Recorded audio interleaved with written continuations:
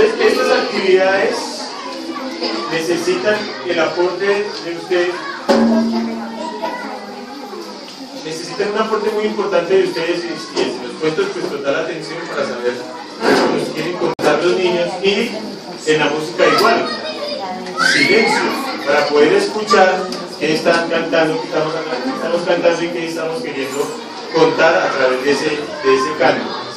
Entonces la primera canción se llama El Cangrejo.